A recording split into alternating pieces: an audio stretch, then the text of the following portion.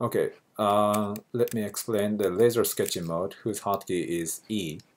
Uh, this mode is really simple. You just need to uh, press the mouse button somewhere uh, on the model um, and then release it. Um, yeah, and the system generates a cutting plane uh, defined by this line segment and uh, generates a loop that is the cross section between the plane and the mm, model.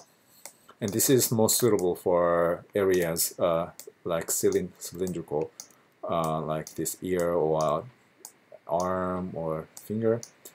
And uh, also uh, note that um, if you want to make a uh, relatively long, large loop, you you should draw make a larger line segment. Otherwise, um, the system uh, rejects such a you know result.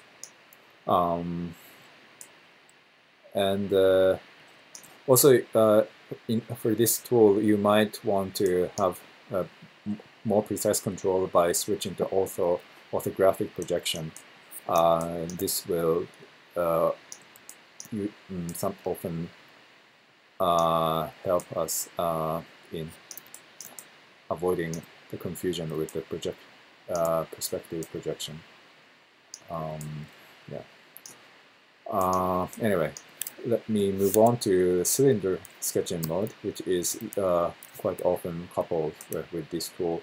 So cylinder sketching is a tool uh, that generates a set of uh, curves um, that connect two loops. So it, it, it's like uh, interaction is like basic sketching mode, but uh, it's only for the case where you connect two loops. Um, the system automatically generates other three uh, loops, uh, curves that connect uh, the two loops.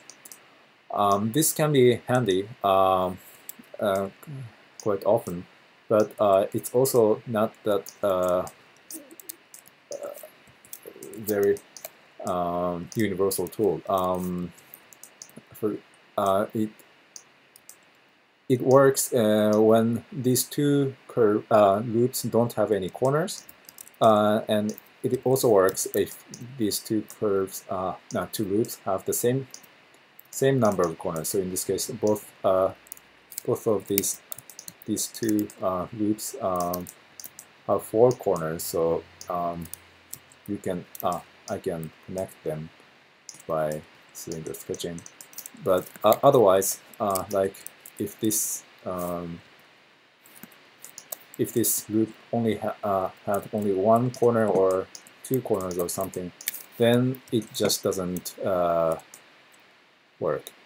Uh, so it, it, it assumes that uh, both of these um, loops have the same number of corners, or most preferably uh, have no corners. So yeah. And this, this is also usable uh, for two loops that are more like planar, like this in this case. Um, for an eye, um, you can uh, quickly create this uh, multiple curve simultaneously. Also, it can be used for, for things like uh, tips of some uh, cylindrical or tubular sh shape. Um, yeah, like this tail of the bunny. Um, yeah, you can quickly, easily uh, generate a cap uh, for the um, yeah, tail. So that's about it.